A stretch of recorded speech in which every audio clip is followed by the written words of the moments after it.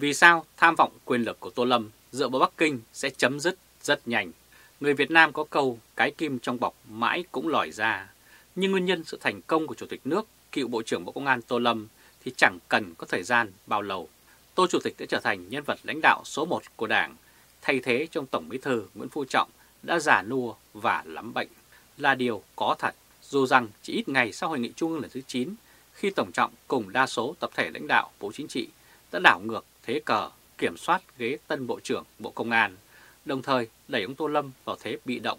tưởng chừng hết lối thoát.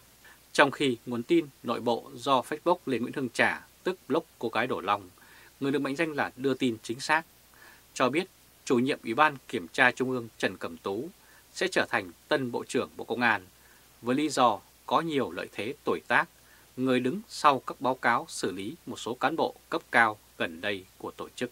Vậy mà bất ngờ vào ngày 6 tháng 6, Tô Chủ tịch đã tạo nên một cú lội ngược dòng ngoạn mục, thành công đưa Thượng tướng Lương Tam Quang trở thành Bộ trưởng Bộ Công an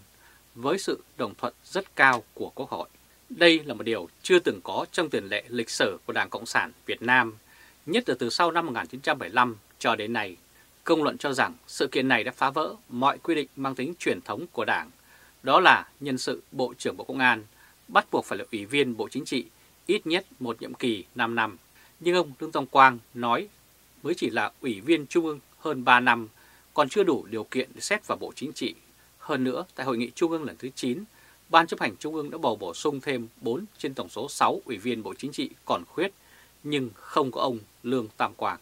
Chưa hết, sau đó ít ngày, tân Bộ trưởng Bộ Công an Lương Tam Quang lại được Bộ Chính trị Ban Bí thư Thống nhất cao, chỉ định làm Bí thư Đảng ủy Công an Trung ương. Điều này dẫn đến một nghịch lý, Bộ trưởng Lương Tam Quang trở thành thủ trưởng cấp trên của Tổng trọng và Thủ tướng Phạm Minh Chính, bởi hai người này là ủy viên thưởng vụ trong Đảng ủy Công an Trung ương. Theo giới thạo tin, để tạo điều kiện cho ông Tô Lâm kiểm soát toàn diện Đảng Cộng sản Việt Nam,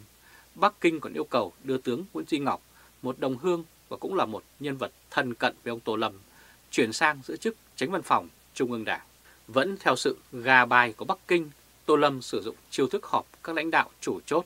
tức Bộ Chính trị thu hẹp hay tứ trụ mở rộng. Với phương thức này, Tô Lâm luôn giành được ưu thế so với Tổng Bí Thư trong việc ra quyết định tập thể. Giới phân tích khẳng định rằng ông Tô Lâm giành được các thành công ngoạn mục như trên, tất cả đều do bàn tay của Bắc Kinh đạo diễn. Nghĩa là không có chuyện Tô Lâm lội nước ngược dòng và nhận được sự đồng thuận cao từ Bộ Chính trị, Ban Bí thư và giới tướng lĩnh cấp cao. Mà dường như đây là việc Ban lãnh đạo Trung Nam Hải đã can thiệp một cách thô bạo vào nội bộ giữa lãnh đạo cấp cao nhất của Đảng Cộng sản Việt Nam, chính trị duy nhất và mang tính chất hợp pháp ở Việt Nam. Lãnh đạo nhà nước xã hội chủ Việt Nam theo Điều 4 Hiến pháp năm 2013 quy định Đảng lãnh đạo. Trong khi đối với đông đảo người dân Việt Nam yêu nước, nhà cầm quyền Đại Hán phương Bắc nói chung và chính quyền của Đảng Cộng sản Trung Quốc nói riêng luôn là kẻ thù truyền kiếp và không đợi trời chung, cho đến hiện nay vẫn như vậy, khi họ nhăm nhe cướp cả Biển Đông. Vậy lý do gì Đảng Cộng sản Việt Nam luôn với 5 triệu đảng viên, trong đó có một số lượng không nhỏ có cựu chiến binh tham gia cuộc chiến biên giới phía Bắc và chiến trường Campuchia lại dắp tâm làm tay sai cho Bắc Kinh? Tại sao tập thể Bộ Chính trị, Ban Bí thư và các tướng lĩnh Bộ Quốc phòng có thể đang tâm nhắm mắt làm ngơ trước sự bán nước lộ liễu để phục vụ cho tham vọng quyền lực cá nhân của Chủ tịch nước, cựu Bộ trưởng Bộ Công an Tô Lâm đến như thế là câu hỏi mà dư luận đặt ra. Theo giới quan sát, vào thời điểm hiện nay, với sự chống lưng triệt để từ Bắc Kinh, ông Tô Lâm đang ở thế thượng phòng. Nhưng ông vẫn không nhận ra được sự ủng hộ của đa số đông lãnh đạo cấp cao, đặc biệt giới tướng lĩnh quân đội. Ông Tô Lâm từng bị ban lãnh đạo đảng khẳng định không đủ tư cách và đạo đức để giữ cương vị người đứng đầu của Đảng Cộng sản Việt Nam. Với tham vọng sẵn sàng bán nước thì có nguy cơ rất cao Tô Lâm sẽ phải đối mặt với nguy cơ tiềm ẩn từ phe nghệ tĩnh, từ giới tướng lĩnh quân đội, kể cả Thủ tướng Phạm Minh Chính hiện đang là một đồng minh chính trị của Tô Lâm, nhưng lại đương một danh là còn tắc kẻ hòa, rất dễ đổi màu. Quý vị và các bạn phải theo dõi chương trình truyền hình trực tiếp của Thời báo chấm với bản tin Vì sao tham vọng quyền lực của Tô Lâm dựa vào Bắc Kinh sẽ sớm chấm dứt.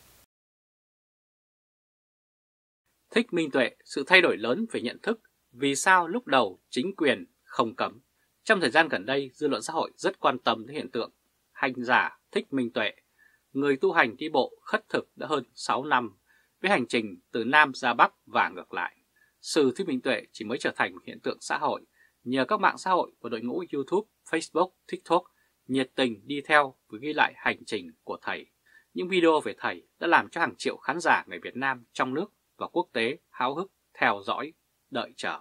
Thầy Thích Minh Tuệ nhiều lần khẳng định bản thân ông không phải là nhà sư của bất kỳ giáo hội hay ngôi chùa cũng như tổ chức nào. Ông chỉ là một người toàn tâm học tập theo Đức Phật thông qua 13 hạnh đầu đà, như mỗi ngày chỉ ăn một bữa, đi khất thực với một lõi nổi cơm điện cũ, không nhận tiền cúng dường, ngủ ngồi ở nghĩa trang, trong rừng, nơi hoang vắng hay bất kỳ nơi nào, không làm phiền đến bất kỳ ai. Chiếc áo thầy mặc được chấp vá từ những mảnh vải vụn thầy nhặt được trong hành trình đi bộ khất thực. Tất cả những hành trình và hành động của thầy trong việc tuân thủ nghiêm ngặt giới luật Phật Pháp đã truyền cảm hứng cho rất đông người Việt thuộc mọi tầng lớp xã hội bao gồm cả giới trí thức, văn nghệ sĩ và được đánh giá như một cuộc cách mạng về Phật giáo tại Việt Nam. Trong bối cảnh cái gọi là giáo hội Phật giáo Việt Nam mà người dân mỉa mai là giáo hội quốc doanh đang thao túng Phật giáo Việt Nam. Tổ chức này được coi là một cánh tay nối dài của Đảng, đã làm thoái hóa biến chất Phật giáo, cố ý làm cho người Việt hiểu sai về triết lý của đạo Phật. Các ba tăng của lãnh đạo Phật giáo quốc doanh đã biến đạo Phật và các nhà chùa trong hệ thống quản lý của họ thành nơi kinh doanh tôn giáo với cái gọi là tiền cúng dường đã đem lại nguồn lợi khổng lồ lên đến hàng ngàn tỷ đồng mỗi năm. Đổi lại, ngành kinh doanh béo bở này không bị kiểm tra, thanh tra về tài chính và không bị đóng thuế cho nhà nước. Đó là lý do vì sao đằng sau các chùa lớn, các đại tự thuộc sở hữu tư nhân luôn thấy bóng dáng các quan chức lãnh đạo cấp cao của cả đảng và nhà nước Việt Nam. Hiện tượng Sư Thích Minh Tuệ đã khiến số đông tăng ni Phật tử suy nghĩ và soi lại những phát ngôn gây phẫn nộ trong thời gian vừa qua của các ma tăng như Thích Trần Quang, Thích Trúc Thái Minh, vân vân về một thứ Phật giáo biến thái chỉ nhằm mục đích thu được nhiều tiền bạc, càng nhiều càng tốt. Do đó, thầy Thích Minh Tuệ đã và đang được rất nhiều người Việt Nam trong và ngoài nước ngưỡng mộ, yêu mến. Số lượng người tìm đến đi theo thầy từng đoạn ngắn cũng như xin theo tu học mỗi ngày một đồng. Dường như quá cay cú về hiện tượng thầy Thích Minh Tuệ khiến số đông tăng ni Phật tử quyết định quay lưng và nói không với các chùa triền thuộc giáo hội Phật giáo quốc doanh. Điều đó đã khiến các chùa lớn rơi vào tình trạng vắng như chùa Bà Đanh, tới mức một số chùa rơi vào tình trạng tiền công đức không đủ để trả hóa đơn tiền điện, và ma tăng không đủ tiền ăn chay mỗi ngày. Phản ứng lại, vào ngày 16 tháng 5, Giáo hội Phật giáo Quốc doanh đã ra văn bản khẳng định Sư Minh Tuệ không phải là tu sĩ Phật giáo, không tu tập hay là nhân sự của bất kỳ chùa nào, thuộc tổ chức nào. Không ngờ tuyên bố mang tính khiêu khích này đã lại trở thành hành động đổ dầu vào lửa khiến cho thầy Thích Minh Tuệ đã nổi tiếng lại càng thêm nổi tiếng hơn. Đáng chú ý ban đầu khi hiện tượng thầy Thích Minh Tuệ mới nổi lên, nhà nước Việt Nam dường như vẫn thể hiện sự kiên nhẫn đáng kể. Chính quyền các địa phương nơi thầy đi qua như Quảng Bình, Quảng Trị không ủng hộ cũng như không cấm đoán việc bộ hành khất thực của thầy. Giới thảo tin Công đình tiết lộ cho biết dường như chính quyền muốn sử dụng sự kiện bộ hành khất thực của thầy Thích Minh Tuệ để chuyển hướng sự quan tâm của công luận khỏi những sự kiện đấu đá tại thượng tầng chính trị của Đảng Cộng sản Việt Nam và nhà nước khi các cuộc đấu đá đã trở nên rối ren,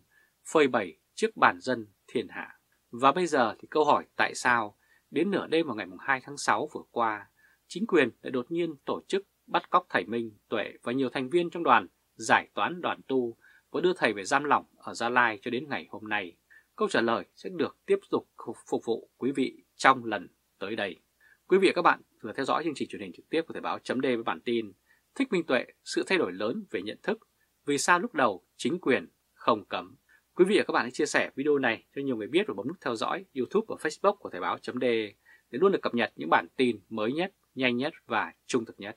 Từ Berlin, Cộng hòa Liên bang Đức chào các bạn và hẹn gặp lại các bạn ở bản tin lần tới. Trung Khoa, Thời báo, chấm đề.